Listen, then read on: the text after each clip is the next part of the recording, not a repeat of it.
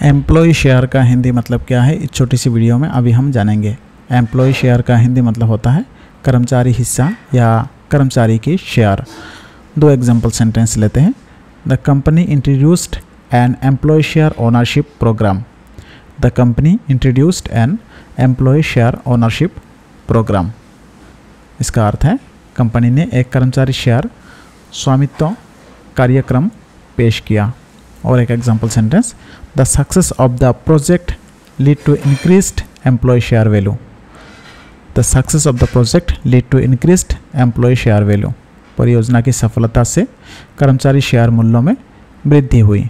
तो फ्रेंड्स उम्मीद करता हूँ एम्प्लॉय शेयर का हिंदी मतलब आप समझ गए होंगे।